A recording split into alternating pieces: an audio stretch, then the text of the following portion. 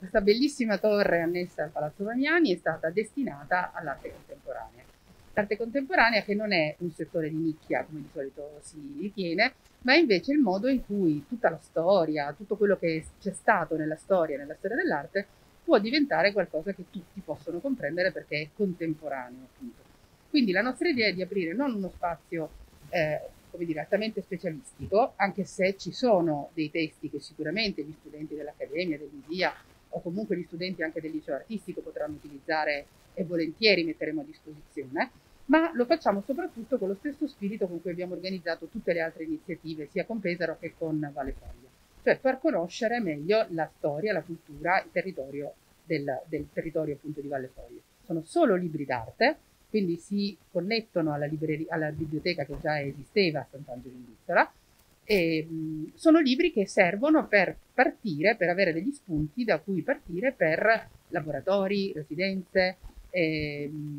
iniziative, eventi che sono finalizzati sempre a conoscere di più la storia, non solo di Sant'Angelo, ma di tutta Valle Foglia ovviamente. C'è anche una sezione dedicata proprio ai libri sulla storia della provincia di Pesaro Urbino, quindi un po' per conoscere meglio questo territorio. Poi ci sono libri strettamente legati proprio all'arte contemporanea, all'arte del passato. Quindi l'idea è che diventi uno spazio frequentato da chiunque, dai ragazzini, dalle persone appassionate, dalle persone curiose e, e noi faremo in modo di attivarlo attraverso appunto degli eventi. Questo nel piano, nel piano terra.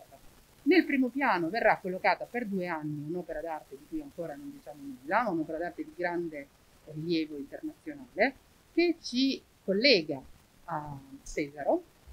perché è un'opera che è stata realizzata per il Rossini Opera Festival tanti anni fa e tenuta eh, diciamo fuori dalla portata, dagli sguardi dei, dei fruitori per tantissimi anni, quindi saremo molto felici di collocarla qui. E poi lo spazio successivo, gli altri due piani, sono destinati ai laboratori, laboratori soprattutto per gli adulti perché lo spazio non è magari fruibile tanto dai bambini, per i bambini useremo sia lo spazio